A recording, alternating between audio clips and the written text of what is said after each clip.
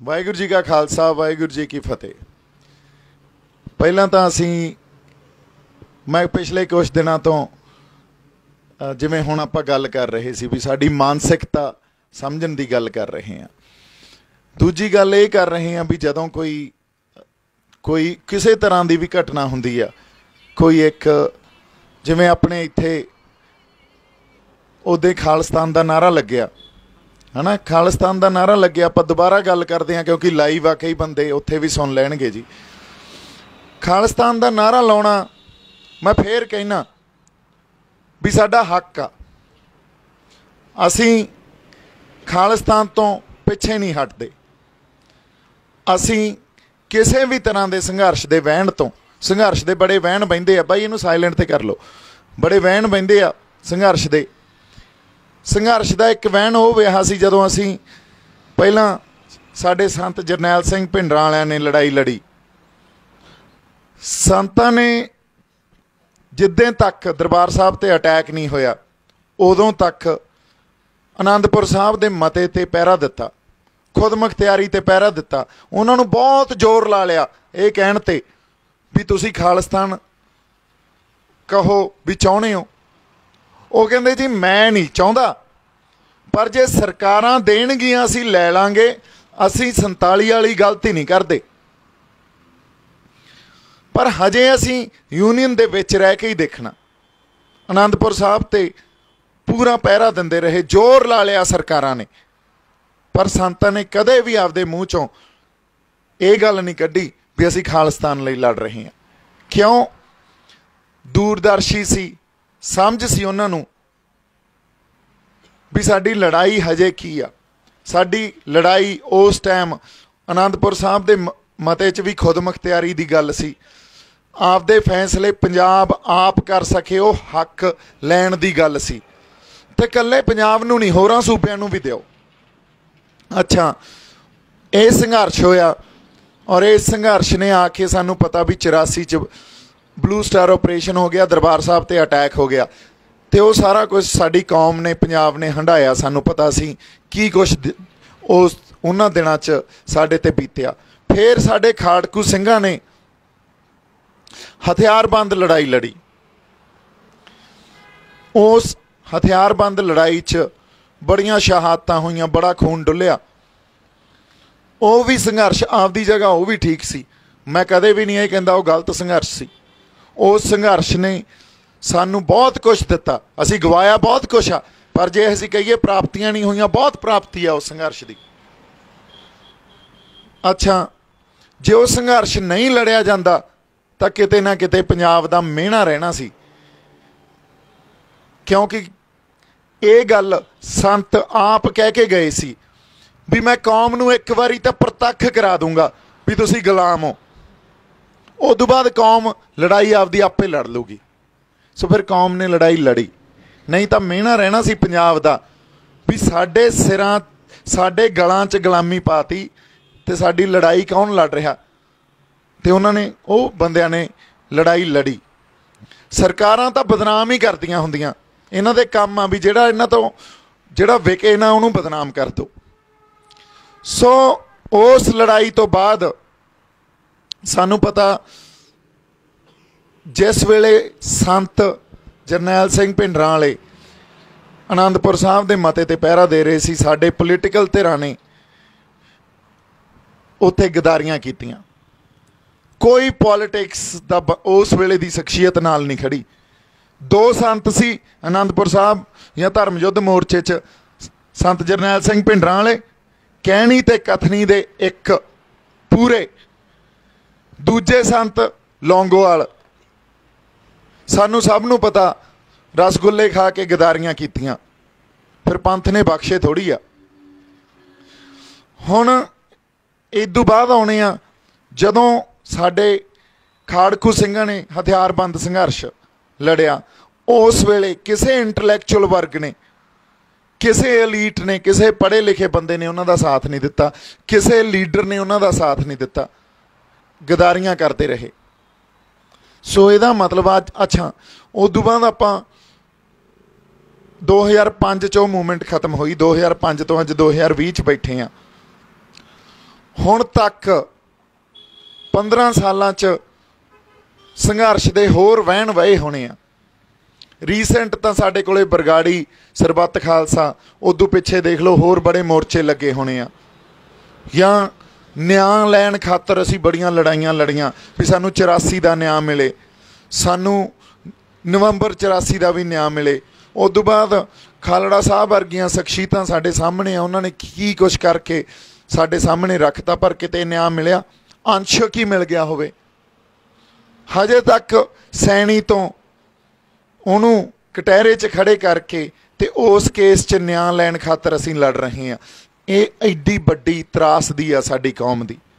ਇਹ ਤੋਂ ਪਤਾ ਤਾਂ ਇਹ ਲੱਗਦਾ ਵੀ ਅਸੀਂ ਗੁਲਾਮ ਆ। ਗੁਲਾਮਾਂ ਨੂੰ ਨਿਆਂ ਨਹੀਂ ਮਿਲਦੇ ਹੁੰਦੇ। ਗੁਲਾਮਾਂ ਦੀ ਗੱਲ ਨਹੀਂ ਸੁਣੀ ਜਾਂਦੀ, ਗੁਲਾਮਾਂ ਨੂੰ ਹੱਕ ਨਹੀਂ ਮਿਲਦੇ ਹੁੰਦੇ, ਸਾਡੀਆਂ ਮੰਗਾਂ ਨਹੀਂ ਸੁਣੀਆਂ ਜਾਂਦੀਆਂ। ਇਹ ਜਿਵੇਂ ਅਸੀਂ ਦੇਖਦੇ ਹੁੰਦੇ ਸੀ ਨਾ ਨਾਟਕਾਂ 'ਚ ਵੀ ਇੱਕ ਪਾਸੇ ਗਰੀਬ ਜੀ ਜਨਤਾ ਖੜੀ ਆ ਤੇ ਇੱਕ ਬਾਦਸ਼ਾਹ ਆਉਂਦਾ, ਉਹ ਖੁਸ਼ ਆ ਤੇ ਇੱਕ ਆਪਦੀ ਮਾਲੀ ਜਾ- ਮਾਲਾ ਲਾ ਕੇ ਸਿੱਟ ਦਿੰਦਾ ਤੇ ਉਹ ਸਾਰੇ ਉਹਨੂੰ ਇਕੱਠੀ ਕਰਨ ਲੱਗ ਜਾਂਦੇ ਆ, ਸਾਡਾ ਉਹ ਹਾਲ ਆ। ਸਾਡੇ ਨਾਲ ਉਹ ਕਰਦੇ ਆ। ਫਿਰ ਅਸੀਂ ਖਰਾਤਾਂ ਲੈਣ ਵਾਸਤੇ ਸਾਨੂੰ ਸਾਡੇ ਗੁਰੂਆਂ ਨੇ ਪੈਦਾ ਕੀਤਾ ਜਾਂ ਇੱਕ ਵਿਲੱਖਣਤਾ ਦਿੱਤੀ ਆ ਕਿ ਆਪਦੇ ਹੱਕ ਲੈਣ ਵਾਸਤੇ ਅਸੀਂ ਲੜਦੇ ਆ। ਅੱਜ ਜਿੱਥੇ ਖੜੇ ਆ, ਇਸ ਗੱਲ ਦੀ ਆਪਾਂ ਜਮਾਂ ਹੀ ਇਹ ਗੱਲ ਨੂੰ ਆਪਾਂ ਪ੍ਰਮਾਣ ਨਹੀਂ ਕਰਦੇ ਵੀ ਹਥਿਆਰਬੰਦ ਸੰਘਰਸ਼ ਲੜਿਆ ਜਾਵੇ। ਅੱਜ ਲੜਾਈ ਆ ਵਿਚਾਰਾਂ ਦੀ। ਅੱਜ ਲੜਾਈ ਆ ਆਈਡੀਓਲੋਜੀ ਦੀ। ਕਿਉਂਕਿ ਸਾਨੂੰ ਵੀ ਆਈਡੀਓਲੋਜੀ ਨਾਲ ਹੀ ਕੱਟ ਰਹੇ ਆ ਉਹ। ਆਈਡੀਓਲੋਜੀ ਨਾਲ ਖਤਮ ਕਰ ਰਹੇ ਆ। ਹਿੰਦੂਤਵਾਦੀ ਆਈਡੀਓਲੋਜੀ ਆ। ਤੇ ਆਈਡੀਓਲੋਜੀ ਨਾਲ ਆਈਡੀਓਲੋਜੀ ਲੜਦੀ ਹੁੰਦੀ ਆ। ਅੱਜ ਅਸੀਂ ਦਰਬਾਰ ਸਾਹਿਬ ਨੂੰ ਇਹ ਕਹਿੰਦੇ ਨਾ, ਭੁੱਲ ਜਾਓ, ਅੱਗੇ ਵਧੋ। ਕਿਵੇਂ ਭੁੱਲ ਜੀਏ ਕਿਵੇਂ ਨਵੰਬਰ 84 ਨੂੰ ਭੁੱਲ ਜੀਏ ਕਿਵੇਂ ਖਾੜਕੂ ਸੰਘਰਸ਼ ਜਿਹੜਾ ਇੰਨਾ ਖੂਨ ਡੁੱਲਿਆ, ਸ਼ਹਾਦਤਾਂ ਦਿੱਤੀਆਂ, ਉਹਨੂੰ ਭੁੱਲ ਜੀਏ ਪਰ ਉਹ ਸਾਨੂੰ ਚਿੰਨ੍ਹ ਆ ਸਾਡੇ। ਜਿਹਦੇ ਤੋਂ ਸਾਨੂੰ ਪ੍ਰੇਰਣਾ ਮਿਲਦੀ ਆ, ਜਿਹਦੇ ਤੋਂ ਅਸੀਂ ਸਿੱਖਦੇ ਆ ਵੀ ਇਸ ਸੰਘਰਸ਼ ਨੂੰ, ਅਗਲੇ ਆਉਣ ਵਾਲੇ ਸੰਘਰਸ਼ ਨੂੰ ਕਿਵੇਂ ਲੜਨਾ, ਕਿੱਥੇ ਜਿਹੜੀ ਖਤਾ ਖਾਧੀ ਆ, ਅਸੀਂ ਗਲਤੀਆਂ ਕੀਤੀਆਂ, ਉਹਨੂੰ ਕਿਵੇਂ ਅਸੀਂ ਅੱਗੇ ਨਾ ਕਰੀਏ, ਉਸ ਗੱਲ ਤੇ ਆਈਏ। ਅੱਜ ਸ਼ਾਂਤਮਈ ਸੰਘਰਸ਼ ਲੜਿਆ ਜਾ ਰਿਹਾ। ਪੰਜਾਬ ਦੀ ਹੋਂਦ ਦਾ ਸੰਘਰਸ਼ ਲੜਿਆ ਜਾ ਰਿਹਾ। ਜੇ ਕਿਸਾਨ ਜੇ ਕਿਸਾਨ ਯੂਨੀਅਨ ਇਹ ਕਹਿ ਰਹੀਆਂ ਵੀ ਇਹ ਕੱਲਾ ਕਿਸਾਨੀ ਦਾ ਅੰਦੋਲਨ ਆ ਤੇ ਮੈਂ ਇੱਕ ਵਾਰੀ ਫੇਰ ਕਹਿਦਾ ਇਹ ਕੱਲਾ ਕਿਸਾਨੀ ਦਾ ਅੰਦੋਲਨ ਨਹੀਂ ਆ। ਇਕੱਲਾ ਵਾਰ ਕਿਸਾਨੀ ਤੇ ਨਹੀਂ ਹੋਇਆ। ਵਾਰ ਪੰਜਾਬ ਦੀ ਹੋਂਦ ਤੇ ਹੋਇਆ। ਸਾਡੀ ਸਾਡੀ ਮਾਂ ਬੋਲੀ ਤੇ ਹੋਇਆ, ਸਾਡੇ ਫਲਸਫੇ ਤੇ ਹੋਇਆ, ਸਾਡੇ ਇਤਿਹਾਸ ਤੇ ਹੋਇਆ। ਇਹ ਗੱਲ ਮੈਂ ਵਾਰ-ਵਾਰ ਦੁਹਰਾ ਰਿਹਾ। ਸਾਡੀ ਵਿਲੱਖਣਤਾ ਤੇ ਹੋਇਆ। ਬਾਕੀ ਕਿਉਂ ਨਹੀਂ ਸੂਬੇ ਖੜੇ ਹੋ ਰਹੇ? ਤੁਸੀਂ ਸੋਚੀਏ ਇਹ ਗੱਲ ਆ 250 ਜਥੇਬੰਦੀਆਂ ਨਾਲ ਕਿਸਾਨਾਂ ਦੀ ਮੀਟਿੰਗ ਸੀ। ਲਿਟਰਲੀ ਉਹਨਾਂ ਨੂੰ ਰਿਕੁਐਸਟ ਕਰਕੇ ਆਏ ਆ ਵੀ ਸਾਡੇ ਨਾਲ ਤੁਰੋ। ਉਹ ਸਰਕਾਰਾਂ ਨੂੰ ਲ- ਸਰਕਾਰਾਂ ਨਾਲ ਲੜਨ ਨੂੰ ਤਿਆਰ ਹੀ ਨਹੀਂ। ਕਿਉਂਕਿ ਉਹ ਸਿਰਫ ਆਰਥਿਕ ਤੌਰ ਤੇ ਇਸ ਬਿੱਲ ਨੂੰ ਸਮਝ ਰਹੇ ਆ। ਸਾਡੇ ਲਈ ਇਹਦਾ ਮਤਲਬ ਕੱਲਾ ਆਰਥਿਕ ਨਹੀਂ ਆ, ਵਿਚਾਰਧਾਰਕ ਮਤਲਬ ਵੀ ਆ। ਉਸੇ ਗੱਲ ਤੇ ਫੇਰ ਆ ਜੰਨੇ ਆ ਅਸੀਂ। ਜਦੋਂ ਆਪਣੇ ਖਾਲਿਸ ਖਾਲਿਸਤਾਨ ਵਾਲਾ ਨਾਰਾ ਲੱਗਿਆ। ਉਦੋਂ ਤੱਕ ਹਰ ਮੋਰਚੇ ਚੋਂ ਇਹ ਗੱਲ ਬੋਲੀ ਜਾ ਰਹੀ ਸੀ, ਪੰਜਾਬ ਆਪਦੀ ਹੋਣ ਦੀ ਲੜਾਈ ਲੜ ਰਿਹਾ। ਅੱਜ ਪਤਾ ਕੀ ਗੱਲ ਕਰ ਰਹੀ ਹੈ ਇਹ? ਅੱਜ ਵਾਪਸ ਉਸੇ ਗੱਲ ਤੇ ਆ ਗਏ ਵੀ ਕਿਸਾਨੀ ਦਾ ਅੰਦੋਲਨ ਆ। ਦੇਖਿਓ, ਅਸੀਂ ਤਾਂ ਪਹਿਲਾਂ ਹੀ ਕਿਹਾ ਸੀ, ਸ਼ੰਭੂ ਵਾਲੇ ਤਾਰ ਪੀਡੋ ਕਰ ਰਹੇ ਆ। ਮੈਂ ਅੱਜ ਇਸ ਗੱਲ ਤੇ ਆ ਗਿਆ ਕਿ ਕਹਿੰਦੇ ਆ ਦੀਪ ਸਿੱਧੂ ਦਾ ਨੈਰੇਟਿਵ ਕੀ ਆ? ਦੀਪ ਸਿੱਧੂ ਦਾ ਨੈਰੇਟਿਵ ਇਹ ਆ ਵੀ ਅਸੀਂ ਗੁਲਾਮੀ ਗਲੋਂ ਲਾਉਣੀ ਆ। ਹੁਣ ਕਿਸੇ ਹਿਸਾਬ 'ਚ ਵੀ ਲੜਨਾ ਪੈ ਜੇ ਸਾਨੂੰ। ਅਸੀਂ ਆਪਦੀ ਧਿਰ ਵੀ ਖੜੀ ਕਰਾਂਗੇ, ਅਸੀਂ ਰਾਜਸੀ ਸੰਘਰਸ਼ ਵੀ ਲੜਾਂਗੇ। ਪੰਜਾਬ ਕੋਲੇ ਨਿਰੋਲ ਪੰਜਾਬ ਦੀ ਸਿਆਸਤ ਵੀ ਹੋਊਗੀ। ਪੰਜਾਬ ਸਮਾਜਿਕ ਤੌਰ ਤੇ ਵੀ ਲੜਾਈ ਲੜੂਗਾ, ਵਿਚਾਰਧਾਰਕ ਤੌਰ ਤੇ ਵੀ ਲੜਾਈ ਲੜੂਗਾ। ਖਤਮ ਹੋਈ। ਫਿਰ ਹੋਰ ਸਾਰੇ ਸੰਘਰਸ਼ਾਂ ਵਾਸਤੇ ਵੀ ਅਸੀਂ ਤਿਆਰ ਹਾਂ, ਜੇ ਸਾਨੂੰ ਧੱਕ ਦਿੱਤਾ ਗਿਆ ਤਾਂ। ਪਰ ਹਜੇ ਜਿੱਥੇ ਅਸੀਂ ਖੜੇ ਹਾਂ, ਹਜੇ ਸਾਡਾ ਸੰਘਰਸ਼ ਜਾਂ ਸਾਡੇ ਸੰਘਰਸ਼ ਦੀ ਸੇਧ ਆ ਜਿਹੜੀ ਉਹ ਸ਼ਾਂਤਮਈ ਆ, ਔਰ ਉਹ ਉਨੀ ਹੀ ਸ਼ਾਂਤਮਈ ਆ ਜਿੰਨੀ ਸ਼ਾਂਤਮਈ ਸੰਘਰਸ਼ ਜਾਂ ਜਿੰਨੀ ਸ਼ਾਂਤਮਈ ਸ਼ਹੀਦੀ ਸ੍ਰੀ ਗੁਰੂ ਅਰਜਨ ਦੇਵ ਸਾਹਿਬ ਨੇ ਦਿੱਤੀ ਸੀ ਪੰਜਵੇਂ ਪਾਤਸ਼ਾਹ ਨੇ, ਜਿਨ੍ਹਾਂ ਨੂੰ ਆਪਾਂ ਸ਼ਹੀਦਾਂ ਦੇ ਸਰਤਾਜ ਕਹਿੰਦੇ ਆ ਸਾਡੀ ਸੇਧ ਅੱਜ ਜਿਹੜੀ ਸੰਘਰਸ਼ ਦੀ ਆ, ਉਹ ਸ਼ਹੀਦੀ ਤੋਂ ਆ। ਉਨੀ ਸ਼ਾਂਤਮਈ ਉਨਾ ਸ਼ਾਂਤਮਈ ਸੰਘਰਸ਼ ਲੜ ਰਹੇ ਆ ਅਸੀਂ। ਹੁਣ ਆ ਜਾਂਦੇ ਆਪਾਂ ਖਾਲਿਸਤਾਨ ਦੇ ਨਾਰੇ ਤੇ। ਖਾਲਿਸਤਾਨ ਦਾ ਮੈਂ ਮੈਂ ਇੱਕ ਵਾਰੀ ਫੇਰ ਕਹਿਣਾ ਲੈ ਨਾਰਾ ਲਾ ਦਿੰਨੇ ਆ ਖਾਲਿਸਤਾਨ ਜਿੰਦਾਬਾਦ। ਇਹ ਕੋਈ ਗੁਨਾਹ ਥੋੜੀ ਹੋ ਗਿਆ। ਮੈਂ ਕਹਿੰਦਾ ਲਾਈਏ। ਪਰ ਜਿਹੜੀ ਥਾਂ ਤੇ ਆਪਾਂ ਖੜੇ ਆ ਨਾ ਅੱਜ, ਜਿੱਥੇ ਆਪਾਂ ਅੱਜ ਸੰਘਰਸ਼ ਲੜ ਰਹੇ ਹਾਂ। ਜੇ ਇਹਨੂੰ ਕਿਸੇ ਹੋਰ ਪਾਸੇ ਵੱਲ ਲੈ ਕੇ ਜਾਣਾ, ਧੱਕਣਾ, ਇੱਕ ਕਾਰਨਰ 'ਚ ਅਸੀਂ ਆਪਦੇ ਆਪ ਨੂੰ ਲੈ ਕੇ ਜਾਣਾ, ਤਾਂ ਇਹ ਨਾਰੇ ਲਾਉਣ ਲੱਗ ਜਾਂਦੇ ਆ ਪਰ ਜੇ ਅਸੀਂ ਆਪਦੇ ਨਾਲ ਹੋਰ ਵਰਗਾਂ ਨੂੰ ਵੀ ਤੋਰਨਾ, ਉਹਨਾਂ ਸਾਰੇ ਬੰਦਿਆਂ ਨੂੰ ਤੋਰਨਾ, ਜਿਨ੍ਹਾਂ ਦੀ ਮਾਨਸਿਕਤਾ 'ਚ ਡਰ ਬਿਠਾ ਦਿੱਤਾ ਗਿਆ, ਜਿਨ੍ਹਾਂ ਦੀ ਮਾਨਸਿਕਤਾ ਉਹ ਆਪਦੇ ਕਿਰਦਾਰਾਂ ਤੋਂ ਪਾਸੇ ਹੋਏ ਫਿਰਦੇ ਆ, ਕਿਰਦਾਰ ਕੀ ਸੀ? ਨਿਰਭਉ ਤੇ ਨਿਰਵੈਰ। ਮੈਨੂੰ ਇੱਕ ਬੰਦਾ ਦਿਖਾ ਦਿਓ ਪੰਜਾਬ 'ਚ, ਜਿਹੜਾ ਨਿਰਭਉ ਹੋਵੇ ਤੇ ਨਿਰਵੈਰ ਹੋਵੇ।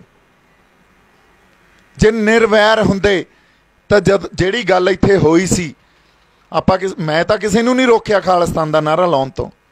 ਪਰ ਕਿਸੇ ਹੋਰ ਬੰਦੇ ਨੇ ਰਿਐਕਸ਼ਨ ਕਰਤਾ ਤੇ ਜੇ ਨਿਰਵੈਰ ਹੁੰਦੇ, ਫਿਰ ਵੈਰ ਨਹੀਂ ਕੱਟਣਾ ਸੀ, ਫਿਰ ਉਹਨਾਂ ਨੇ ਸੰਵਾਦ ਕਰਨਾ ਸੀ, ਉਹਨਾਂ ਨੇ ਗੱਲਾਂ ਪੁੱਛਣੀਆਂ ਸੀ। ਫਿਰ ਮਨਮਤ ਨਹੀਂ ਹੋਣੀ ਸੀ, ਗੁਰਮਤ ਹੋਣੀ ਸੀ। ਗੁਰਮਤ 'ਚ ਤਾਂ ਸੰਵਾਦ ਹੁੰਦਾ ਹੁੰਦਾ। ਗੁਰਮਤ 'ਚ ਤੋਮਤਾਂ ਨਹੀਂ ਲੱਗਦੀਆਂ ਹੁੰਦੀਆਂ। ਤੋਮਤਾਂ ਤਾਂ ਮਨਮਤ ਲਾਉਂਦੀ ਆ। ਫਿਰ ਮੇਰੇ ਤੋਂ ਸਵਾਲ ਕਰਦੇ, ਬਾਈ ਆਹ ਕੀ ਗੱਲ? ਤੁਸੀਂ ਤਾਂ ਸਰਕਾਰਾਂ ਤੇ ਤੁਹਾਡੇ 'ਚ ਫ਼ਰਕ ਕੀ ਰਹਿ ਗਿਆ? ਜਿਵੇਂ ਸਰਕਾਰਾਂ ਬਿਹੇਵ ਕਰਦੀਆਂ, ਉਵੇਂ ਤੁਸੀਂ ਬਿਹੇਵ ਕਰੀ ਜਾਂਦੇ ਹੋ। ਫਿਰ ਤਾਂ ਕੋਈ ਫ਼ਰਕ ਹੀ ਨਹੀਂ ਰਹਿ ਗਿਆ ਤੁਹਾਡੇ ਤੇ ਸਰਕਾਰਾਂ 'ਚ। ਔਰ ਗੱਲ ਕੀ ਆ? ਹੁਣ ਸਾਨੂੰ ਆ ਖੜੇ ਆ ਸਾਹਮਣੇ ਆਪਣੇ ਇੰਸਪੈਕਟਰ ਸਾਹਿਬ ਸੀਆਈਡੀਐਸ ਵਾਸਤੇ ਖੜੇ ਆ ਜਾਂ ਵੈਸੇ ਅਮਨ ਅਮਾਨ ਬਣਾਉਣ ਵਾਸਤੇ ਖੜੇ ਆ। ਸਾਡੇ ਤੋਂ ਕੀ ਸੀਆਈਡੀ ਲੈ ਲੈਣਗੇ? ਜੋ ਅੰਦਰ ਆ, ਉਹੀ ਬਾਹਰ ਆ। ਹੁਣ ਇੱਕ ਯੂਨੀਅਨ ਆਫ ਇੰਡੀਆ ਇਹ ਦੇਸ਼ ਆ ਜਿਹੜਾ ਯੂਨੀਅਨ ਆਫ ਇੰਡੀਆ ਇੱਥੇ ਬਹੁਤ ਕੌਮੀਅਤ ਵਸਦੀ ਆ। ਵੱਖ-ਵੱਖ ਤਰ੍ਹਾਂ ਦੀ ਕੌਮੀਅਤ ਨੇ ਮਿਲ ਕੇ, ਜਿਹਦੇ 'ਚ ਇੱਕ ਦੇਸ਼ ਸਿਰਜਿਆ ਹੋਇਆ, ਉਹ ਯੂਨੀਅਨ 'ਚ। ਜਦੋਂ ਉਸ ਯੂਨੀਅਨ 'ਚ ਤੁਸੀਂ ਕਿਸੇ ਨੂੰ ਇੰਨਾ ਤੰਗ ਕਰ ਦੋਗੇ, ਉਹਨਾਂ ਨੂੰ, ਉਹਨਾਂ ਤੇ ਜ਼ਬਰ ਜ਼ੁਲਮ ਕਰੋਗੇ, ਉਹਨਾਂ ਦੇ ਹੱਕ ਨਹੀਂ ਦਿਓਗੇ, ਉਹਨਾਂ ਨੂੰ ਪਹਿਲੇ ਦਰਜੇ ਦਾ ਸਿਟੀਜ਼ਨ ਹੋਣ ਦਾ ਅਹਿਸਾਸ ਨਹੀਂ ਰਹੂਗਾ। ਦੇਖੋ, ਕਿਸੇ ਦੇਸ਼ ਨਾਲ ਬੰਦਾ ਕਦੋਂ ਜੁੜਿਆ ਹੁੰਦਾ? ਇੱਕ ਸੈਂਸ ਆਫ ਬਿਲੋਂਗਿੰਗ ਹੁੰਦੀ ਹੈ ਅੰਦਰ। ਦੇਸ਼ ਮੇਰਾ ਮਾਣ ਤੇ ਸਮਾਨ ਦੀ ਰੱਖਿਆ ਕਰੂਗਾ ਮੇਰੀ ਆਪਦੀ ਸਿਕਿਉਰਿਟੀ ਕਰੂਗਾ ਤੇ ਮੇਰਾ ਦੇਸ਼ ਪ੍ਰਤੀ ਵਫਾਦਾਰ ਰਹਿਣਾ। ਇਹ ਆਪਸ 'ਚ ਇੱਕ ਸੰਧੀ ਆ ਦੇਸ਼ ਤੇ ਬੰਦੇ ਦੀ। ਜਦੋਂ ਇਹ ਸੰਧੀ ਤੇ ਸੱਟ ਵੱਜਦੀ ਆ ਤੇ ਦੇਸ਼ ਦੀਆਂ ਸਰਕਾਰਾਂ ਮਾਰਦੀਆਂ, ਤੇ ਫਿਰ ਬੰਦੇ ਦੀ ਵਫਾਦਾਰੀ ਵੀ ਖਤਮ ਹੋ ਜਾਂਦੀ ਆ। ਬੰਦਾ ਕਹਿੰਦਾ, ਮੈਂ ਤੁਹਾਡੇ ਲਈ ਵਫਾਦਾਰੀ ਕਿਉਂ ਰਿਹਾ? ਤੁਸੀਂ ਤਾਂ ਮੇਰੀ ਜਿਹੜੀ ਉਹ ਸਿਕਿਉਰਿਟੀ ਤੇ ਮਾਨ ਸਨਮਾਨ ਤੇ ਸੱਟ ਮਾਰੀ ਆ। ਮੈਨੂੰ ਤੁਸੀਂ ਆਪਦੇ ਨਾਗਰਿਕ ਹੋਣ ਦਾ ਅਹਿਸਾਸ ਹੀ ਨਹੀਂ ਕਰਾ ਰਹੇ ਹੋ। ਮੇਰੇ ਤੋਂ ਮੇਰੇ ਹੱਕ ਖੋ ਰਹੇ ਹੋ। ਸੋ ਉਦੋਂ ਵੱਖਵਾਦ ਦੀ, ਖਾਲਿਸਤਾਨ ਦੀ, ਤਾਮਿਲਨਾਡੂ ਚ ਤੇਲੰਗਾਨਾ ਕਹੀ ਜਾਂਦੇ ਆ ਉਹ, ਬੰਗਾਲ ਵਾਲੇ ਕੁਛ ਆਪਦਾ ਮੰਗਾਂ ਕਰੀ ਜਾਂਦੇ ਆ, ਮਹਾਰਾਸ਼ਟਰ ਵਾਲੇ ਆਪਦੀ ਕਰੀ ਜਾਂਦੇ ਆ, ਕਸ਼ਮੀਰ ਵਾਲੇ ਆਪਦੀ ਕਰੀ ਜਾਂਦੇ ਆ, ਨਾਗਾਲੈਂਡ ਵਾਲੇ ਆਪਦੀਆਂ ਕਰੀ ਜਾਂਦੇ ਆ, ਉਦੋਂ ਇਹ ਗੱਲਾਂ ਉੱਠਦੀਆਂ। ਸੋ ਉਲਟਾ ਡੈਮੋਕ੍ਰੇਸੀ ਦੀ ਮੀਨਿੰਗ ਆ ਜਿਹੜਾ ਉਹ ਤਾਂ ਸਰਕਾਰਾਂ ਨੂੰ ਸਮਝਣਾ ਚਾਹੀਦਾ। ਅਸੀਂ ਤਾਂ ਬੜੇ ਡੈਮੋਕ੍ਰੈਟਿਕ ਵੇ ਚ ਆਪਦੀ ਗੱਲ ਰੱਖ ਰਹੇ ਹਾਂ ਤੇ ਆਪਦਾ ਇੱਕ ਵਿਊ ਪੁਆਇੰਟ ਹੀ ਰੱਖ ਰਹੇ ਹਾਂ ਨਾ। ਔਰ ਵਿਊ ਪੁਆਇੰਟ ਰੱਖਣਾ, ਜੇ ਵਿਊ ਪੁਆਇੰਟ ਰੱਖਣ ਤੇ ਹੀ ਅਸੀਂ ਡਰਨ ਲੱਗ ਜਾਈਏ, ਆਪਦੀ ਗੱਲ ਹੀ ਨਾ ਕਰ ਸਕੀਏ, ਫਿਰ ਤਾਂ ਮੈਨੂੰ ਲੱਗਦਾ ਕਿਹੜੀ ਡੈਮੋਕ੍ਰੇਸੀ ਦੀ ਗੱਲ ਕਰਦੇ ਆ ਕਿਹੜੇ ਫੰਡਾਮੈਂਟਲ ਰਾਈਟਸ ਦੀ ਗੱਲ ਕਰਦੇ ਆ ਔਰ ਫੰਡਾਮੈਂਟਲ ਰਾਈਟ ਕਨਸਟੀਟਿਊਸ਼ਨ 'ਚ ਇਹ ਕਹਿੰਦਾ I have a right to speak ਸੰਵਿਧਾਨ ਦਿੰਦਾ, ਸਰ। ਰਾਈਟ ਟੂ ਸਪੀਕ ਤੁਸੀਂ ਤਾਂ ਪੜਿਆ ਹੋਊਗਾ, ਸਰ। ਸੋ ਜੇ ਸੰਵਿਧਾਨ 'ਚ ਸਾਡੇ ਕੋਲੇ ਰਾਈਟ ਆ, ਬੋਲਣ ਦਾ, ਤੇ ਸਾਡੇ ਬੋਲਣ ਤੋਂ ਗੁਨਾਹ ਹੋਣਾ ਤੇ ਉਹਦੇ ਬਣਾ ਤੇ ਕਿਸੇ ਨੂੰ ਜੇਲ੍ਹ 'ਚ ਧੱਕ ਦਿੱਤਾ ਜਾਣਾ, ਫਿਰ ਇਦੋਂ ਵੱਡਾ ਇਹ ਤੁਸੀਂ ਬੰਦ ਕਰਤਾ। ਅੱਛਾ। ਹਾਂਜੀ ਉਦੋਂ ਵੱਡਾ ਅਸੀਂ ਕਹਿ ਲਈਏ ਵੀ ਜਿਹੜਾ ਸੈਂਸ ਆਫ ਬਿਲੋਂਗਿੰਗ ਨੂੰ ਲੈ ਕੇ ਜਾਣਾ, ਇਸ ਦੇਸ਼ ਨਾਲ ਸਾਡੀ ਸੈਂਸ ਆਫ ਬਿਲੋਂਗਿੰਗ ਨੂੰ ਲੈ ਕੇ ਜਾਣਾ, ਸਾਡੇ ਜਿਹੜੇ ਅਸੀਂ ਮੂਲ ਅਧਿਕਾਰ ਆ, ਉਹਨਾਂ ਨੂੰ ਹੀ ਇੰਨੇ, ਐਡੇ ਵੱਡੇ ਤੌਰ ਤੇ ਤੁਸੀਂ ਸਾਡੇ ਤੋਂ ਲੈ ਜਾਣਾ, ਫਿਰ ਸਾਡੇ ਕੋਲੇ ਤੁਹਾਡੀ ਵਫਾਦਾਰੀ ਕਾਦੀ ਰਹੇਗੀ? ਜਿੱਦੇ ਅੱਜ ਦੇਖੋ, ਅੱਜ ਅਸੀਂ ਜਿਹੜੇ ਦਿਨ ਤੇ ਬੈਠੇ ਆ, ਇਹ ਉਹ ਦਿਨ ਆ ਜਿੱਦੇ ਇੰਦਰਾ ਗਾਂਧੀ ਨੂੰ ਗੋਲੀਆਂ ਮਾਰੀਆਂ ਸੀ। ਸਤਵੰਤ ਤੇ ਬੇਅੰਤ ਨੇ। ਹੁਣ ਪੂਰੀ ਗੱਲ ਨੂੰ ਸਮਝਦੇ ਆ ਵਰਤਾਰਾ ਕੀ ਸੀ? ਇੱਕ ਉਸ ਵੇਲੇ ਦੀ ਸਰਕਾਰ ਨੇ ਜਿਨੇ ਸਾਡੀ ਜਾਨ ਮਾਲ ਦੀ ਰੱਖਿਆ ਕਰਨੀ ਸੀ, ਸਾਡੀ ਕੌਮੀਅਤ ਦੀ ਰੱਖਿਆ ਕਰਨੀ ਸੀ, ਸਾਡੇ ਲਈ ਇੱਕ ਸਾਰਥਿਕ ਸਮਾਜ ਸਿਰਜਣਾ ਸੀ, ਜਿਹਦੇ 'ਚ ਸਾਨੂੰ ਵਿਤਕਰਾ ਨਾ ਮਹਿਸੂਸ ਹੋਵੇ। ਅਸੀਂ ਫਰਸਟ ਗ੍ਰੇਡ ਸਿਟੀਜ਼ਨ ਪਹਿਲੇ ਦਰਜੀ ਦੇ ਸ਼ਹਿਰੀ ਆਪਦੇ ਆਪ ਨੂੰ ਮਹਿਸੂਸ ਕਰ ਸਕੀਏ। ਇਹ ਸਭ ਕੁਝ ਤਾਂ ਕੀ ਕਰਨਾ ਸੀ? ਸਾਡੇ ਉਸ ਪਵਿੱਤਰ ਜਗ੍ਹਾ ਤੇ ਜਿੱਥੋਂ ਸਾਨੂੰ ਜਿਹੜਾ ਸਾਡੀ ਆਤਮਿਕ ਸੋਮਾ ਜਿੱਥੋਂ ਮਿਲਦਾ ਉਹਦਾ ਪ੍ਰਤੀਕ ਆ, ਉੱਥੇ ਹਮਲਾ ਕਰਤਾ। ਕੱਲਾ ਹਮਲਾ ਹੀ ਨਹੀਂ ਕੀਤਾ। ਜਿਹੜੀ ਸੰਗਤ ਵੀ ਆਈ ਹੋਈ ਸੀ ਉੱਥੇ, ਉਹਨਾਂ ਨੂੰ ਵੀ ਬਾਹਰ ਨਹੀਂ ਨਿਕਲਣ ਦਿੱਤਾ ਉਹਨਾਂ ਨੂੰ ਉਹਨਾਂ ਨੂੰ ਵੀ ਵਿੱਚ ਮਾਰੇ ਉਹ। ਫੌਜ ਚੜ ਕੇ ਆ ਗਈ, ਅਥਰੂ ਗੈਸ ਦੇ ਗੋਲੇ, ਟੈਂਕ, ਮਸ਼ੀਨ ਗੰਨਾ ਈਵਨ ਹੈਲੀਕਾਪਟਰ ਖੜਾ ਕੇ ਉੱਥੋਂ ਫਾਇਰਿੰਗ ਹੋ ਰਹੀ ਆ। ਸੋ ਤੁਸੀਂ ਆਪਾਂ ਸੋਚ ਸਕਦੇ ਆ ਵੀ ਉੱਥੇ ਐਡੀ ਵੱਡੀ ਸਾਜ਼ਿਸ਼ ਅਧੀਨ ਤੁਸੀਂ ਆ ਕੇ ਹਮਲਾ ਕਰਦੇ ਹੋ, ਉਹਦੇ ਪਿੱਛੇ ਵਿਚਾਰਧਾਰਾ ਕੀ ਪਈ ਆ? ਵਿਚਾਰਧਾਰਾ ਇਹ ਪਈ ਆ ਵੀ ਇਹਨਾਂ ਨੂੰ ਜੜੋਂ ਪੱਟੋ। ਜਦੋਂ ਜੜੋਂ ਪੱਟੋ ਦੀ ਗੱਲ ਆ, ਅੱਛਾ, ਇਹ ਗੱਲ ਅਬਦਾਲੀ ਨੇ ਸਮਝ ਲਈ ਸੀ ਵੀ ਇਸ ਕੌਮ ਨੂੰ ਚਿੰਨ ਨਾ ਦਿਓ। ਜਦੋਂ ਇਹਨਾਂ ਨੂੰ ਚਿੰਨ ਜਾਂ ਸਿੰਬਲ ਦੇਤੇ, ਇਹਨਾਂ 'ਚ ਸੋਵਰਨਿਟੀ ਆ ਜਿਹੜੀ ਉਹ ਏਡੀ ਸਟਰੋਂਗ ਆ, ਇਹਨਾਂ ਨੇ ਫੇਰ ਉੱਠ ਖੜਨਾ ਅੱਛਾ, ਔਰ ਇਹ ਗੱਲ ਅੰਗਰੇਜ਼ਾਂ ਨੇ ਵੀ ਸਮਝ ਲਈ ਸੀ। ਅੰਗਰੇਜ਼ ਹਿੰਦੁਸਤਾਨ 'ਚ ਹਰ ਧਰਮ ਨੂੰ ਉਹਨੂੰ ਉਹਨਾਂ ਦੇ ਅਨੁਸਾਰ ਚਲਾਉਣ ਦੀ ਖੁੱਲ ਸੀ ਕੱਲੇ ਸਿੱਖ ਧਰਮ ਨੂੰ ਨਹੀਂ ਸੀ। ਸਾਡੇ ਤੇ ਪੂਰੀ ਨਿਗਾਹ ਹੁੰਦੀ ਸੀ ਮਹਾਨਤਾਂ ਦੇ ਥਰੂ ਸਾਡੇ ਸਿੱਖ ਧਰਮ ਨੂੰ ਕੰਟਰੋਲ ਕਰਕੇ ਰੱਖਿਆ ਹੋਇਆ ਸੀ। ਤਾਂ ਹੀ ਤਾਂ ਉਸ ਵੇਲੇ ਗੁਰਦੁਆਰਾ ਸੁਧਾਰ ਲਹਿਰ ਚੱਲੀ, ਮੋਰਚੇ ਲੱਗੇ। ਹਨਾ? ਸੋ ਨਨਕਾਣਾ ਸਾਹਿਬ ਜਿਹੜਾ ਸਾਕਾ ਹੋਇਆ, ਹਾਂ ਬਾਬਾ ਦਿੱਤ ਸਿੰਘ ਜੀ। ਸੋ ਇਹ ਗੱਲ ਇਹਨਾਂ ਦੇ ਸਮਝ 'ਚ ਨਹੀਂ ਆਈ। ਇਹ ਅੱਜ ਸਾਨੂੰ ਕਿਉਂ ਕਹਿੰਦੇ ਆ? ਭੁੱਲ ਜੋ ਭੁੱਲ ਜੋ 84 ਨੂੰ। ਕਿਉਂਕਿ ਇਹਨਾਂ ਨੂੰ ਪਤਾ, ਇਹਨਾਂ ਨੇ ਚਿੰਨ ਦੇਤਾ ਇੱਕ, ਬਹੁਤ ਵੱਡਾ। ਨਵੰਬਰ 84 ਬਹੁਤ ਵੱਡਾ ਚਿੰਨ ਦੇਤਾ। ਬਾਰ-ਬਾਰ ਜਦੋਂ ਸਾਡੇ ਤੇ ਜ਼ੁਲਮ ਜ਼ਬਰ ਹੋਊਗਾ, ਸਾਡੇ ਅੰਦਰ ਉੱਠਦੀ ਰਹੂਗੀ ਗੱਲ।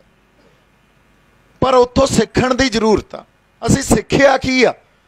ਅਸੀਂ ਖਤਾ ਕਿੱਥੇ ਖਾਦੀ ਅਸੀਂ ਸਿੱਖਿਆ ਹੀ ਨਹੀਂ ਕਦੇ। ਉਹਨਾਂ ਵਰਤਾਰਿਆਂ ਤੋਂ ਸਿੱਖ ਕੇ ਤਾਂ ਚੱਲੇ ਹੀ ਨਹੀਂ। ਕਿਉਂ ਨਹੀਂ ਜੇ ਸਿੱਖਿਆ ਹੁੰਦਾ ਫਿਰ ਸਾਨੂੰ ਤੁਹਾਨੂੰ ਲੱਗਦਾ ਵੀ ਇੰਨੀਆਂ ਜਥੇਬੰਦੀਆਂ ਹੋਣੀਆਂ ਸੀ? ਇੰਨੇ ਵਿਚਾਰ ਹੋਣੇ ਸੀ। ਕੋਈ ਗੁਰਮਤ ਵਾਲੀ ਤਾਂ ਗੱਲ ਹੀ ਨਹੀਂ ਕਰਦਾ। ਪਹਿਲਾਂ ਬੰਦੇ ਇਕੱਠੇ ਹੋ ਜਾਂਦੇ ਆ, ਇੱਕ ਜਥੇਬੰਦੀ ਬਣਾ ਲੈਂਦੇ ਆ, ਵਿਚਾਰਾਂ ਤੇ ਬਾਅਦ ਚ ਬੈਠਦੇ ਆ। ਵਿਚਾਰਾਂ ਤੇ ਪਹਿਲਾਂ ਬਹਿਣਾ ਚਾਹੀਦਾ, ਫੇਰ ਜਥੇਬੰਦੀ ਬਣਨੀ ਚਾਹੀਦੀ ਆ, ਅਸੀਂ ਤਾਂ ਉਲਟਾ ਚੱਲਣ ਲੱਗ ਗਏ। ਕਦੇ ਉਹ ਚਿੰਨਾ ਤੋਂ ਤਾਂ ਕੁਝ ਸਿੱਖਿਆ ਹੀ ਨਹੀਂ ਅਸੀਂ। ਵਾਪਸ ਗੱਲ ਅਸੀਂ ਆ ਰਹੇ ਹਾਂ ਉਸ ਗੱਲ ਤੇ। ਹੁਣ ਜਿਹੜੀ ਆਪਾਂ ਗੱਲ ਕਰ ਰਹੇ ਸੀ। ਖਾਲਿਸਤਾਨ ਦਾ ਨਾਰਾ ਲੱਗਿਆ। ਜਿਵੇਂ ਰਿਐਕਟ ਹੋਇਆ, ਜਿਵੇਂ ਤੌਮਤਾਂ ਲੱਗੀਆਂ ਲਾਂਤਾਂ ਪਾਈਆਂ ਗਈਆਂ ਵੀ ਤੁਹਾਡੇ ਤੇ ਸਰਕਾਰ 'ਚ ਫ਼ਰਕ ਕੀ ਰਹਿ ਗਿਆ, ਮੈਂ ਤਾਂ ਆਪ ਮੰਨਦਾ। ਮੈਂ ਤਾਂ ਆਪ ਇਸ ਗੱਲ ਤੇ ਹੈਰਾਨ ਆ ਵੀ ਇਸ ਮੰਚ ਤੇ ਜਿਹੜੀ ਆਪਾਂ ਗੱਲ ਕਰ ਰਹੇ ਹਾਂ, ਫਿਰ ਉਹ ਤਾਂ ਦਿਖਾਵਾ ਲੱਗਣ ਲੱਗ ਜੂਗੀ। ਸਰਕਾਰ ਵੀ ਐਂ ਕਰਦੀ ਆ ਤੇ ਆਪਾਂ ਵੀ ਉਵੇਂ ਹੀ ਕਰ ਰਹੇ ਹਾਂ, ਫਿਰ ਫ਼ਰਕ ਕੀ ਰਹਿ ਗਿਆ? ਪਰ ਇਸ ਗੱਲ ਤੇ ਤਾਂ ਵਿਚਾਰ ਹੋਣੀ ਚਾਹੀਦੀ ਸੀ ਨਾ। ਇਹ ਗੱਲ ਨੂੰ, ਇਹ ਵਰਤਾਰੇ ਨੂੰ ਸਮਝਣਾ ਚਾਹੀਦਾ ਸੀ ਨਾ। ਹੋਇਆ ਕਿਉਂ? ਅਸੀਂ ਤਾਂ ਫੇਰ ਨਿਖੜ ਕੇ ਬਹਿ ਗਏ, ਇੱਕ ਦੂਜੇ ਦੀਆਂ ਲੱਤਾਂ ਖਿੱਚਣ ਲੱਗੇ ਸੋ ਮੈਨੂੰ ਐਂ ਲੱਗਦਾ, ਸਾਨੂੰ, ਸਾਡੇ ਅੰਦਰ ਨਾ, ਇੱਕ ਦੂਜੇ ਦੇ ਵਿਚਾਰਾਂ ਨੂੰ ਸਮਝਣ ਦੀ ਜਾਂ ਉਹ ਮਾਨਸਿਕਤਾ, ਅੱਜ ਮੈਂ ਕੁਝ ਕਹਿਣ ਲੱਗ ਜਾਂਦਾ, ਮੈਂ ਐਂ ਕਹਿੰਦਾ ਵੀ ਆਹ ਸਾਰੇ ਬੰਦੇ ਮੇਰੀਆਂ ਗੱਲਾਂ ਮੰਨਣ, ਜਿਹੜਾ ਨਹੀਂ ਮੰਨਦਾ ਉਹ ਵਿਰੋਧੀ ਹੋ ਗਿਆ ਮੇਰਾ। ਇਸ ਲੈਵਲ ਤੱਕ ਪਹੁੰਚ ਜਾਂਦੇ ਆ ਅੱਛਾ, ਜਿਹੜਾ ਨਹੀਂ ਮੰਨਦਾ, ਉਹਨੇ ਜੇ ਆਪਦੀ ਗੱਲ ਕਹੀ, ਤੇ ਜੇ ਇਹ ਮਾਨਸਿਕਤਾ ਹੋ ਉਹਨੂੰ ਵਿਰੋਧੀ ਮੰਨ ਕੇ ਮੇਰੇ 'ਚ ਤਲਖੀ ਆਉਣੀ ਸੁਭਾਵਕ ਆ। ਮੇਰੇ 'ਚ ਕਠੋਰਤਾ ਆਉਣੀ, ਮੇਰੀ ਭਾਸ਼ਾ ਤੇ ਕੰਟਰੋਲ ਨਹੀਂ ਰਹਿਣਾ, ਇਹ ਵੀ ਗੱਲ ਸੁਭਾਵਕ ਆ। ਸੋ ਇਹ ਜਿਹੜੀ ਮਾਨਸਿਕਤਾ ਮੈਂ ਪਿਛਲੇ 4-5 ਦਿਨਾਂ 'ਚ ਸਮਝੀ ਹੈ ਨਾ, ਸਾਨੂੰ ਆਪਦੇ ਕਿਰਦਾਰਾਂ ਤੇ ਵੀ ਕੰਮ ਕਰਨਾ ਪਊਗਾ। ਸਾਡੇ ਸਮਾਜਿਕ ਬੰਤਰ ਤੇ ਹਾਂਜੀ, ਸਾਨੂੰ ਸਾਡੇ ਕਿਰਦਾਰਾਂ ਤੇ ਸਮਾਜਿਕ ਬੰਤਰ ਤੇ, ਸਾਡੀ ਸਿਆਸਤ ਤੇ ਅਸੀਂ ਤਾਂ ਬਹੁਤ ਜ਼ਿਆਦਾ ਉਹਨਾਂ ਅਮਲਾਂ ਤੋਂ ਦੂਰ ਚਲੇ ਗਏ ਆ ਜਿੱਥੇ ਗੁਰੂਆਂ ਨੇ ਸਾਨੂੰ ਲਾਇਆ ਸੀ। ਸਾਨੂੰ ਇਹ ਸਾਰੀਆਂ ਚੀਜ਼ਾਂ ਤੇ ਡੈਫੀਨਿਟਲੀ ਕੰਮ ਕਰਨਾ ਪਊਗਾ। ਨਿਰਾਸ਼ ਤਾਂ ਮੇਰੇ 'ਚ ਤਾਂ ਨਹੀਂ ਆਈ, ਜਮਾ ਹੀ ਨਹੀਂ ਆਈ। ਵੀ ਕੋਈ ਨਹੀਂ, ਖੜੇ ਆ ਕਿਉਂਕਿ ਸੱਚ ਦੀ ਸੱਚ ਦੀ ਬਹੁਤ ਵੱਡੀ ਪਾਵਰ ਹੁੰਦੀ ਆ। ਉਹਨੇ ਨਿੱਤਰ ਕੇ ਸਾਹਮਣੇ ਆਉਣਾ ਹੀ ਹੁੰਦਾ। ਜਿਹੜਾ ਮਰਜ਼ੀ, ਜਿੰਨਾ ਮਰਜ਼ੀ ਸਾਜ਼ਿਸ਼ ਘੜ ਲੈ ਜਿੰਨੀ ਮਰਜ਼ੀ ਕੋਈ ਕੋਈ ਜ਼ੋਰ ਲਾ ਲੇ ਪਰ ਨਾਲ ਦੀ ਨਾਲ ਸਪਸ਼ਟਤਾ ਮੇਰੇ 'ਚ ਇਹ ਗੱਲ ਆ ਗਈ ਇੱਕ ਤਾਂ ਜਿਹੜੇ ਪੁੱਛਦੇ ਸੀ ਵੀ ਦੀਪ ਸਿੱਧੂ ਦਾ ਨੈਰੇਟਿਵ ਕੀ ਆ, ਮੈਂ ਤੁਹਾਨੂੰ ਜਿਵੇਂ ਕਿਹਾ ਨੈਰੇਟਿਵ ਸਾਡਾ, ਸਾਡੀ ਗੁਲਾਮੀ ਗਲੋਂ ਲਾਉਣਾ। ਉਹ ਗੁਲਾਮੀ ਨੂੰ ਹੁਣ ਅਸੀਂ ਖੁਦਮਖਤਿਆਰੀ ਤੋਂ ਗਲੋਂ ਲਾ ਦਈਏ ਜਾਂ ਆਜ਼ਾਦੀ ਦੇ ਨਾਲ ਲਾ ਦਈਏ, ਲਾਵਾਂਗੇ। ਕਿੱਥੇ ਜਾ ਕੇ ਖੜਾਂਗੇ? ਦੇਖਾਂਗੇ। ਇਹਦਾ ਸਮਾਂ ਦੱਸੋ ਕਿੱਥੇ ਖੜਾਂਗੇ ਜਾ ਕੇ। ਹਨਾ, ਉਹ ਸਪਸ਼ਟਤਾ ਤਾਂ ਮੇਰੇ ਅੰਦਰ ਹੈਗੀ ਆ। ਨਾਲ ਦੀ ਨਾਲ ਸਪਸ਼ਟਤਾ ਇਹ ਵੀ ਆ ਵੀ ਕਿਸਾਨ ਜਥੇਬੰਦੀਆਂ ਦੇ ਇਸ ਘੋਲ 'ਚ ਕਿਸਾਨ ਜਥੇਬੰਦੀਆਂ ਜਿੱਥੇ ਆ ਕੇ ਖੜ ਗਈਆਂ, ਉਹਨਾਂ ਨੂੰ ਸਮਝ ਨਹੀਂ ਲੱਗ ਰਹੀ ਅੱਗੇ ਕਰੀਏ ਕੀ। ਕਿਉਂਕਿ ਲੜਾਈ ਬਣ ਗਈ ਆ ਪੋਲੀਟੀਕਲ ਔਰ ਪੋਲੀਟੀਕਲ ਲੜਾਈ ਲੜਨੀ ਹੁੰਦੀ ਆ, ਕਿਸੇ ਰਾਜਸੀ ਧਿਰ ਨੇ। ਰਾਜਸੀ ਧਿਰ ਉਹਨਾਂ ਕੋਲੇ ਹੈ ਨਹੀਂ। ਜਿਹੜਾ ਅੱਜ ਤੋਂ ਮਹੀਨਾ ਪਹਿਲਾਂ ਗੱਲ ਕਰਨੀ ਚਾਹੀਦੀ ਸੀ, ਹੁਣ ਜਾ ਕੇ 250 ਜਥੇਬੰਦੀਆਂ ਨਾਲ ਬੈਠੇ ਆ। ਉਹ ਜਥੇਬੰਦੀਆਂ ਵਾਲੇ ਕਹਿ ਰਹੇ ਆ, ਅਸੀਂ ਤਾਂ ਜਿਵੇਂ ਤੁਸੀਂ ਲੜ ਰਹੇ ਹੋ, ਉਵੇਂ ਲੜ ਹੀ ਨਹੀਂ ਰਹੇ ਸਕਦੇ। ਉੱਡੀ ਵੱਡੀ ਤਾਂ ਗੱਲ ਹੀ ਹੈ ਨਹੀਂ, ਕਿਉਂਕਿ ਉਹਨਾਂ ਨੂੰ ਆਰਥਿਕ ਮਸਲਾ ਲੱਗ ਰਿਹਾ। ਸਾਡੇ ਵਾਲਿਆਂ ਨੂੰ ਪਤਾ ਵੀ ਸਾਡੀ ਹੋਂਦ ਤੇ ਆ ਗਈ ਆ ਗੱਲ, ਸਾਡੀ ਧਰਤੀ ਨਾਲੋਂ ਪੱਟ ਦੇਣਗੇ ਸਾਨੂੰ। ਜੇ ਸਾਨੂੰ ਸਾਡੀ ਧਰਤੀ ਨਾਲੋਂ ਪੱਟਤਾ ਫਿਰ ਸਾਡੇ ਪੱਲੇ ਕੁਝ ਨਹੀਂ ਰਹਿਣਾ। ਸੋ, ਇਸ ਕਰਕੇ ਜਦੋਂ ਤੱਕ ਪੰਜਾਬ ਕੋਲੇ ਨਰੋਲ ਪੰਜਾਬ ਦੀ ਸਿਆਸਤ ਨਹੀਂ ਹੋਊਗੀ ਨਾ ਜਿੱਥੇ ਆਪਾਂ 2 ਦਿਨ, ਤਿੰਨ ਪਹਿਲਾਂ ਖੜੇ ਸੀ, ਉਦੋਂ ਤੱਕ ਪੰਜਾਬ ਦੇ ਮਸਲੇ ਹੱਲ ਨਹੀਂ ਹੋ ਸਕਦੇ। ਸਾਨੂੰ ਸਾਡੀ ਨਿਰੋਲ ਸਿਆਸਤ ਘੜਨੀ ਪੈਣੀ ਆ ਤੇ ਇੱਕ ਇਹੋ ਜੀ ਧਿਰ ਘੜਨੀ ਪੈਣੀ ਆ ਜਿਹੜੀ ਸਾਡੀ ਕਿਰਦਾਰਾਂ ਤੇ ਕੰਮ ਕਰੇ। ਕਿਉਂਕਿ ਉਹਨਾਂ ਲੋਕਾਂ ਦੇ ਕਿਰਦਾਰਾਂ ਤੇ ਕੰਮ ਕਰੇ, ਸਮਾਜ ਤੇ ਕੰਮ ਕਰੇ। ਉਹ ਸਮਾਜਿਕ ਧਿਰ ਨੇ ਹੀ ਲੀਡਰ ਪੈਦਾ ਕਰਕੇ ਸਾਨੂੰ ਦੇਣੇ ਆ। ਸੋ ਇਹ ਗੱਲ ਤਾਂ ਮਿਥ ਲੋ ਵੀ ਜਿਹੜੇ ਪੁਰਾਣੇ ਲੀਡਰ ਸੀ, ਜਿਹੜੀਆਂ ਪਾਰਟੀਆਂ ਸੀ, ਜਦੋਂ ਤੱਕ ਅਸੀਂ ਆਪਦੇ ਅੰਦਰ ਇਹ ਗੱਲ ਨਹੀਂ ਹੁਣ ਮਿੱਥਦੇ ਵੀ ਇਹ ਬੰਦਿਆਂ ਨੇ ਸਾਨੂੰ ਕੁਝ ਨਹੀਂ ਦਿੱਤਾ ਤੇ ਆਉਣ ਵਾਲੇ ਟਾਈਮ 'ਚ ਵੀ ਕੁਝ ਨਹੀਂ ਦੇਣਾ, ਸਾਡਾ ਭਲਾ ਨਹੀਂ ਹੋ ਸਕਦਾ। ਨਵੀਂ ਸਿਆਸਤ ਖੜੀ ਕਰੋ, ਇਸ ਕਿਸਾਨੀ ਘੋਲ 'ਚੋਂ ਐਡੀ ਗੱਲ ਸਮਝ ਕੇ ਹੀ ਸਾਡੇ ਸਾਹਮਣੇ ਆ ਜੇ, ਬਹੁਤ ਵੱਡੀ ਸਾਡੀ, ਮੈਨੂੰ ਲੱਗਦਾ, ਪ੍ਰਾਪਤੀ ਆ। ਜੇ ਸ਼ੰਭੂ ਮੋਰਚਾ ਹੀ ਇਹ ਗੱਲ ਆਪਾਂ ਦੇ ਜੀਏ, ਵੀ ਨਵੀਂ ਸਿਆਸਤ ਪੰਜਾਬ ਨੂੰ ਪੰਜਾਬ ਦੀ ਦੇ ਦਈਏ ਤੇ ਪੰਜਾਬ ਨੂੰ ਉਹ ਸਮਾਜਿਕ ਧਿਰ ਦੇ ਦਈਏ ਜਿਹੜੇ ਪੰਜਾਬ ਦੇ ਲੋਕਾਂ ਤੇ, ਕਿਰਦਾਰਾਂ ਤੇ ਕੰਮ ਕਰੇ। ਬਹੁਤ ਵੱਡੀ ਪ੍ਰਾਪਤੀ ਆ। ਇੱਥੇ ਬੈਠੇ ਆ ਆਪਾਂ।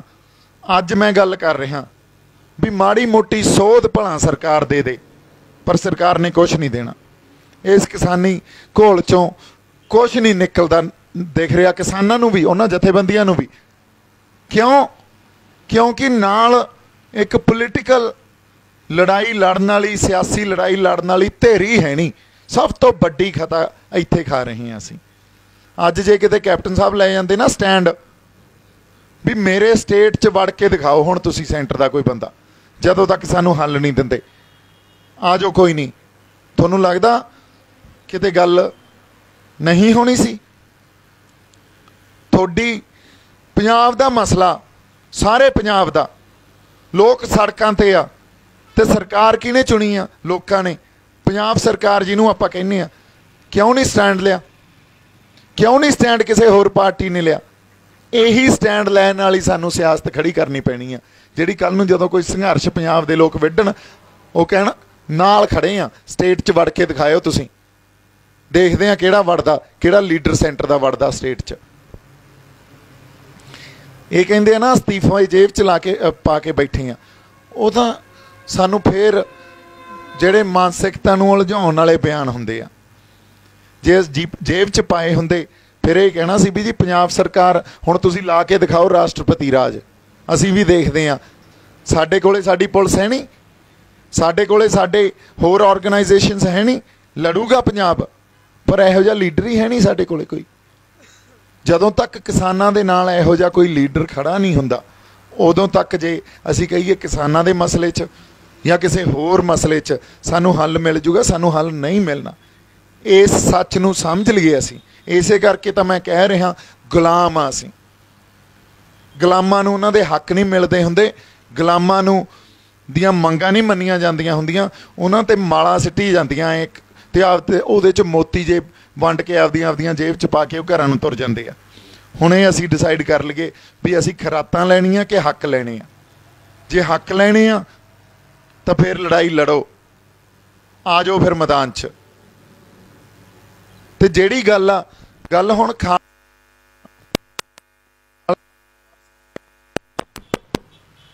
ਖਾਲਿਸਤਾਨ ਤੇ ਵਾਪਸ ਆਉਣੇ ਆ। ਖਾਲਿਸਤਾਨ ਜਿੰਦਾਬਾਦ ਦੇ ਨਾਰਿਆਂ ਤੋਂ ਮੈਨੂੰ ਪ੍ਰੋਬਲਮ ਨਹੀਂ ਆ।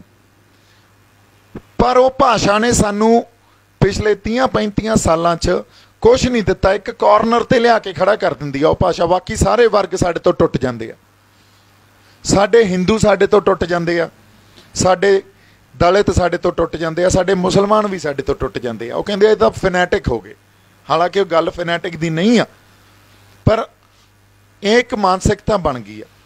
ਇਸ ਕਰਕੇ ਸਾਨੂੰ ਭਾਸ਼ਾ ਬਦਲਣੀ ਪਊਗੀ। ਅਰਥ ਚਾਹੇ ਉਹੀ ਰੱਖ ਲਈਏ, ਸਾਨੂੰ ਨਵੀਂ ਭਾਸ਼ਾ ਕੱਢਣੀ ਪਊਗੀ, ਜਿਹੜੀ ਭਾਸ਼ਾ ਹਰ ਕਿਸੇ ਨੂੰ, ਸਾਡੇ ਹਰ ਵਰਗ ਨੂੰ ਸਮਝ ਆਵੇ। ਸਾਡੇ ਹਿੰਦੂ ਨੂੰ ਵੀ ਸਮਝ ਆਵੇ ਸਾਡੇ ਮੁਸਲਮਾਨ ਨੂੰ ਵੀ ਸਮਝ ਆਵੇ, ਸਾਡੇ ਹੋਰ ਵੀ ਵਰਗਾਂ ਨੂੰ ਉਹ ਭਾਸ਼ਾ ਸਮਝ ਆਵੇ। ਕਿ ਕੱਲੀ ਆਪਾਂ ਸਿੱਖਾਂ ਤੱਕ ਹੀ ਭਾਸ਼ਾ ਰੱਖਣੀ ਆ। ਇਹ ਇਹ ਤੁਸੀਂ ਆਪ ਡਿਸਾਈਡ ਕਰ ਲਓ। ਜੇ ਕੱਲੀ ਸਿੱਖਾਂ ਤੱਕ ਭਾਸ਼ਾ ਰੱਖਣੀ ਆਪਾਂ ਉਹ ਬੋਲ ਲੈਨੇ ਆ। ਜਿਸ ਹਰ ਵਰਗ ਨੂੰ ਸਮਝ ਆਉਣ ਵਾਲੀ ਭਾਸ਼ਾ ਬੋਲਣੀ ਆ, ਤਾਂ ਉਹ ਬੋਲ ਲੈਨੇ ਆ। ਇਹ ਤਾਂ ਸੰਗਤ ਡਿਸਾਈਡ ਕਰ ਲੇ, ਫਿਰ ਮੈਨੂੰ ਜਿਵੇਂ ਹੁਕਮ ਲਾਉਣਗੇ, ਉਵੇਂ ਕਰ ਲਾਂਗੇ ਆਪਾਂ। ਸੋ ਇੰਨੀਆਂ ਕੁ ਗੱਲਾਂ ਆਪਾਂ ਕਰਨੀਆਂ ਸੀ, ਕੋਈ ਨਹੀਂ ਅਮ,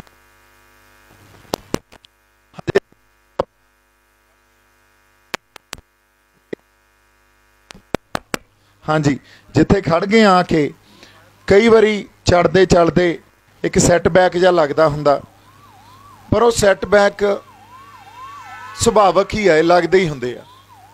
ਕਿਸੇ ਵੀ ਸੰਘਰਸ਼ 'ਚ ਲੱਗਦੇ ਹੀ ਹੁੰਦੇ ਆ। ਹੁਣ ਆਪਾਂ ਤੁਸੀਂ ਅੱਜ ਅੰਮ੍ਰਿਤਸਰ ਦੀ ਸੰ- ਸੰਗਤ ਆਈ ਆ, ਕਿਤੋਂ ਹੋਰ ਵੀ ਜਿਹੜੇ ਜੰਡਿਆਲਾ ਗੁਰੂ ਤੋਂ ਆਏ ਆ। ਤੁਸੀਂ ਆਪਦੇ ਆਪਦੇ ਉੱਥੇ ਜਾ ਕੇ ਖੜੇ ਕਰੋ ਬੰਦੇ।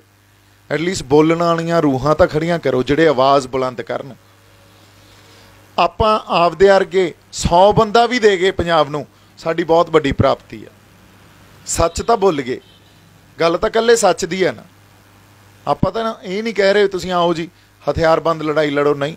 ਸ਼ਾਂਤਮਈ ਢੰਗ ਨਾਲ ਲੜਾਈ ਲੜ ਰਹੇ ਹਾਂ। ਸੱਚ ਬੋਲੋ। ਜੇ ਅਸੀਂ ਸੱਚ ਬੋਲਣ ਵਾਲੀਆਂ ਰੂਹਾਂ ਹੀ ਦੇ ਗਏ 100 200 ਬੰਦਾ, ਬਹੁਤ ਵੱਡੀ ਪ੍ਰਾਪਤੀ ਹੈ ਆਪਣੀ। ਔਰ ਮੈਂ ਇੱਕ ਵਾਰੀ ਫੇਰ ਕਹਿਣਾ ਜਿੱਡੀ ਵੱਡੀ ਸ਼ਕਤੀ ਸੱਚ ਦੀ ਆ, ਓਡੀ ਸ਼ਕਤੀ, ਜਿੱਡਾ ਮਰਜ਼ੀ ਕੋਈ ਤਗੜੀ ਸਰਕਾਰ ਹੋਵੇ, ਕੋਈ ਹੋਰ ਧਿਰ ਹੋਵੇ, ਕੋਈ ਵਿਚਾਰਧਾਰਾ ਹੋਵੇ, ਜੇ ਉਹਦੇ ਕੋਲੇ ਸੱਚ ਹੈ ਨਹੀਂ ਪਿੱਛੇ ਤਾਂ ਉਹਨੇ ਨਹੀਂ ਚੱਲਣਾ ਬਾਲੀ ਦੇਰ। ਉਹ ਡਿੱਗੀ ਪੈਣਾ। ਸੋ ਸੰਗਤ ਨੂੰ ਮੇਰੀ ਬੇਨਤੀ ਹੈ ਜੀ ਇਦੋਂ ਬਾਅਦ ਆਪਾਂ ਹੋਰ ਜ਼ਿਆਦਾ ਸ਼ਮੂਲੀਅਤ ਲੈ ਕੇ ਇੱਥੇ ਆਪਦੇ ਜਿਹੜੇ ਦੋਸਤ, ਯਾਰ, ਮਿੱਤਰ, ਹੋਰ ਸੰਗਤਾਂ, ਉਹਨਾਂ ਨੂੰ ਲੈ ਕੇ ਪਹੁੰਚੀਏ। ਤੇ ਤੁਸੀਂ ਜੇ ਕਿਸੇ ਨੇ ਆਪਦੀ ਗੱਲਬਾਤ ਕਰਨੀ ਹੋਵੇ, ਬੇਖੌਫ ਆ ਕੇ ਗੱਲਬਾਤ ਕਰੋ। ਕੋਈ ਐਸੀ ਗੱਲ ਨਹੀਂ ਆ ਵੀ ਆਪਾਂ ਕਿਸੇ ਗੱਲ ਤੇ ਕਿਸੇ ਤੇ, ਕਿਉਂਕਿ ਆਪਣਾ ਮੰਚ ਹੀ ਇਹ ਆ। ਇੱਥੇ ਕੋਈ ਵੀ ਆ ਕੇ, ਕੋਈ ਹਿੰਦੂ ਭਰਾ ਵੀ ਆ ਕੇ ਆਪਦੇ ਵਿਚਾਰ ਰੱਖ ਸਕਦਾ। ਮੈਂ ਉਹਦੇ ਨਾਲ ਉਸ ਗੱਲ ਨੂੰ ਵੀ ਸੁਣਨ ਦੀ ਸਾਡੇ ਕੋਲੇ ਮਾਦਾ ਸਾਡੇ ਅੰਦਰ ਹੋਣਾ ਚਾਹੀਦਾ। ਕੋਈ ਮੁਸਲਮਾਨ ਵੀ ਰੱਖੇ, ਕੋਈ ਹੋਰ ਬੰਦਾ ਵੀ ਆ ਕੇ ਰੱਖੇ।